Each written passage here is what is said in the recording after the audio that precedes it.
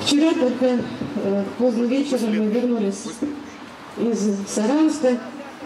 Удалось нам добиться свидания с Владимиром Васильевичем. Не просто так, а с боем, как всегда, со скандалами. Вот. Но зато нам разрешили вместо одного часа три часа поговорить с ним.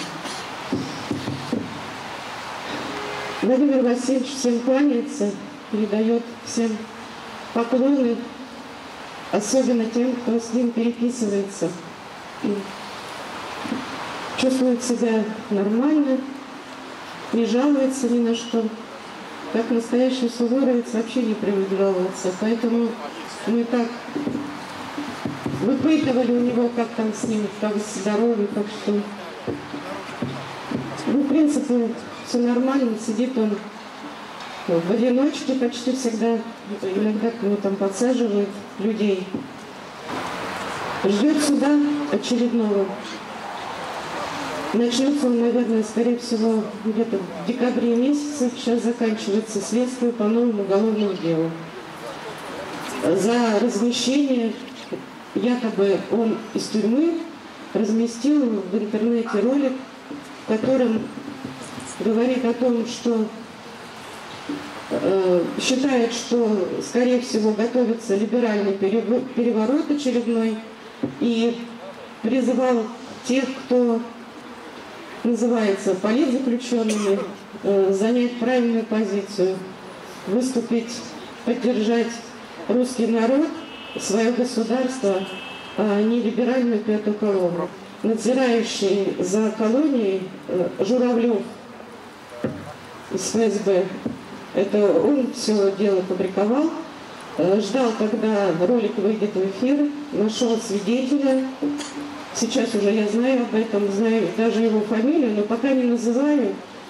И прошу его все-таки подумать и на суде э, свидетельские показания не давать против Владимира, Владимира Васильевича, потому что все это неправда, то, что он будет говорить, а то, что ему просят сказать те, кто это дело фабрикует.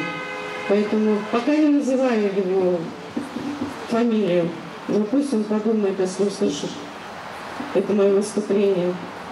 Следует ли честного человека оболгать только ради того, чтобы тебя выпустили по УДО, ты теперь на свободе гуляешь, а ему добавят еще какой-то срок потому что уже 8 лет.